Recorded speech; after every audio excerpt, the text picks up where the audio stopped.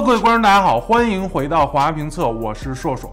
苹果作为一家以软件生态为核心的公司啊，刚刚结束的 WWDC 可以看作是下一年的新起点。生态内所有硬件的 OS 呢，都在这场开发者的盛会上得到了更新。这些新功能啊，决定着你九月份要剁手的 iPhone 十三用起来什么样。刚摆到家里的 iMac 还能为你多做些什么，以及你的下一台电脑到底可不可以是 iPad Pro？所以我们也迫不及待啊，连夜升级，给大家体验三大 OS 的新亮点。不管你手持哪台设备，现在我们一起体验最新的苹果生态。这次在 iOS 上最明显的变化，莫过于全新的通知界面。现在会将通知 App 的图标放大显示，一眼获取信息的效率更高了。同时增加了一个定时推送摘要的功能啊，在通知设置界面可以打开这个功能，并且设置一天的摘要通知频次、时间以及需要摘要的 App。这样被你选中的 App 就不会频繁推送打扰你了，而是只出现在每天的摘要通知里，你就不必总被推送打扰，而是通过定时的摘要通知就能一块儿看看今天发生了啥。在 iOS 十五上还新增了一个专注模式，这个可以看为是原来勿扰模式的升级版啊。在控制中心中点击这个专注按钮，就能切换不同的状态，同时还可以进行自定义，包括这个状态的名称啊，在状态内可以打扰你的联系人，以及可以给你发推送的 App。并且苹果还非常贴心啊，可以智能的把一些紧急类通知释放出来，不错过例如外卖到了、要取的快递这些重要的消息。我们注意啊，这个专注状态还可以共享出来，比如现在通过另一台手机看我的状态呢，就是处于专注模式，通知已静音。那可能有急事儿的啊，会想办法找我；没啥大事儿的也就算了，不会耽误太多事儿。体验了这两个功能啊，感觉 iOS 十五是让人们从快节奏、高密度的信息中可以找回属于自己的节奏啊。我觉得这是继屏幕使用时间之后，苹果想让人们更多回归生活的进一步尝试。这两个功能，各位觉得贴心的可以走个一。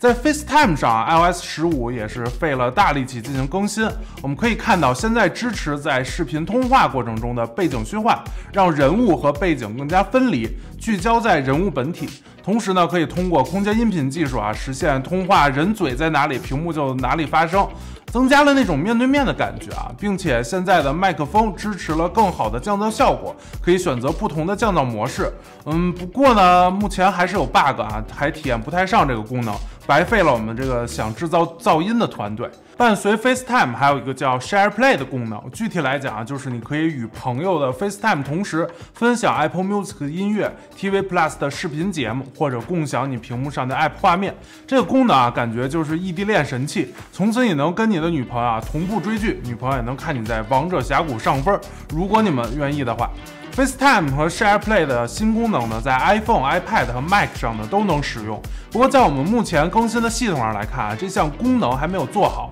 无论是什么设备啊，国区 Apple ID 还是美区 Apple ID，均不能激活屏幕共享、内容共享。我们也会在后续可以体验的时候呢，拍个短视频给大家试用一下。其实今年的 iOS 十五更新啊，总感觉真的不大，都是一些细节功能的补足。比如相册里呢，现在可以自动生成带音乐的回忆，感觉爸爸妈妈非常喜欢用这样的模式看照片。原来还得特意下个 app，现在直接呢就是自带。最后还有一个细节要重点提一下，就是图片文字识别，不论是截屏还是摄像头拍摄的图片里边的文字呢，都能单独提取出来，随意复制。这个只能说啊，母公司的技术终于舍得下放了，实际体验呢也确实方便。任何界面的截图啊、照片的文字，点击一个按钮就能开始随意复制、随意爆炸。看完 iOS 啊，我们换个大家伙 iPad。说实话啊，看完今年的发布会，我觉得 iPad OS 整个更新太保守了，既没有去压榨 M1 的性能，也没有充分利用 16GB 内存。手里的 iPad Pro 啊，依旧感觉有劲儿没地儿使。不过跟生产力最相关的多任务能力还是有了改变和提升。我们一起来看一下。iPadOS 十五啊，新增加了一个多任务菜单，在任意 APP 界面的顶部都有三个小点儿，点开之后可以选择全屏模式、分屏模式和浮窗模式。相比原来纯手势操作啊，效率更高。最重要一点啊，原来多任务比较逆天的是啊，这个 App 一定要在 Dock 栏中你才能把它拖出来进行分屏。现在呢，点击分屏模式，当前的 App 呢会躲在一边，让你在主屏上任意选择一款 App，点开后呢即可组成分屏，方便太多，并且在现在的后。后台界面，长按某个 app 的进程，把它拖拽到另一个 app 上，就可以组成新的分屏组合，并且还能把组合的分屏呢拆开替换。相比原来只能直接关闭一组分屏的管理方式啊，开放太多。同时，浮窗的任务也可以直接显示在右侧，可以直接管理，不用像 iPadOS 十四那样必须从右侧向内滑才能呼出并管理浮窗 app。如今，在一个 app 内呢，也可以同时打开多个窗口。比如我在备忘录中查看一个旧的，编写一个新的，现在只需要点击多任务菜单的全屏模式按钮，底部就会弹出一个 app 内的多任务窗口，可以切换不同的备忘录，或者再新建一个，效率也是提高不少。不过，虽然现在多任务操作模式啊，组合方式更加灵活了，但其实你掰着手指头算啊，能同时运行的 app 最多还是三个：双分屏加一个浮窗。我个人觉得还是有些浪费最高十六 GB 的内存，并且我觉得如今 iPad Pro 最大十二点九英寸的屏幕也完全有空间满足窗口自由大小、自由拖拽。中心还是希望苹果进一步释放 iPad 的多任务能力，不过目前来看还是得再等一年了。iPadOS 十五在界面上的明显变化呢，就是终于可以随意放置小部件了，不再像 iPadOS 十四那样只能放在侧边栏中，同时提供了比 iPhone 大不少的小部件尺寸，可以直接在主屏上预览更多的最近文件，或者显示更多联系人，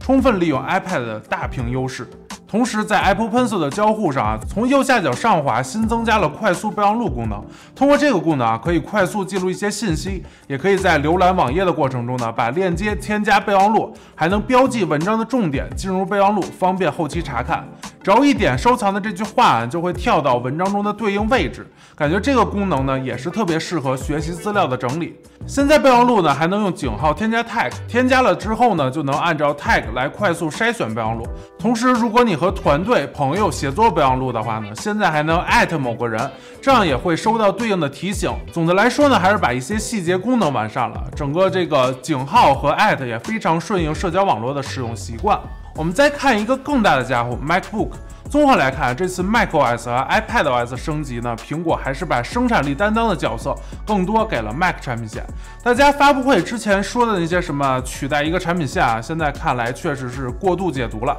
在这次的全新 macOS 上呢，我们看到了 Mac 产品呢进一步与移动端产品的融合。如你现在可以把 iPhone 上的音乐 AirPlay 到 Mac 上播放，也可以屏幕镜像，直接用 Mac 那块高素质大屏来跟别人分享内容。当然，这一切 iPad 一样可以啊。同时，发布会还演示了一个非常炫酷的功能，就是一台 Mac、一台 MacBook、一台 iPad Pro，它们组成了一个超级中。它们靠近时呢，光标可以在三个设备中自由穿梭，用一套键鼠横跨三台设备，同时还能在三台设备中自由拖拽内容，看起来相当科幻啊。不过非常遗憾的是，我们试遍了各种姿势，给两排设备摆了各种体位，在当前的固件版本下，光标依然被设备的边框无情隔阂。期待后续在这个功能上进行的更新。苹果的当家浏览器 Safari 也是在这次更新中进行了迭代，现在就是把搜索框和标签页做了融合，整个工具栏看起来更加简洁，并且工具栏的颜色还能根据网站的主题色进行改变，增加了视觉上的沉浸。这次还增加了一个标签页组的功能啊，方便收纳整理自己看过的网页，也是一个非常方便整理资料的功能。可能由于之前 Safari 过于简洁啊，所以感觉这些功能也只是追赶市面上的主流浏览器做功能上的补足。比较有意思一点啊，大家似乎都期待苹果把 macOS 的生产力向下释放给移动端设备，但这次 WWDC 我们发现啊，反而是 macOS 汲取了诸多移动端的特性和新功能。就我们刚才体验过的 iOS、iPadOS 大部分功能呢，全新的 macOS 也都是支持的，并且在移动端的快捷指令功能也被移植上了 Mac，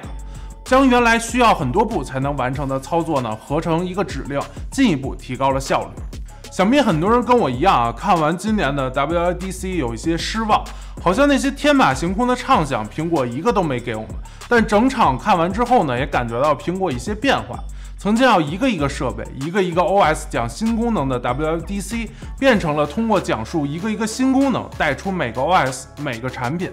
今年最大的一个特点啊，就是几乎所有更新的内容在多端都是通用的。在功能上实现了桌面设备、移动设备、穿戴设备、家居设备的融合。要知道啊，WDC 是开发者的盛会，它对于开发者的作用要远大于像我这样看热闹的发烧友。或许已经在硬件端芯片实现大一统的苹果，正通过本次 WDC 正式吹响全面大一统的号角。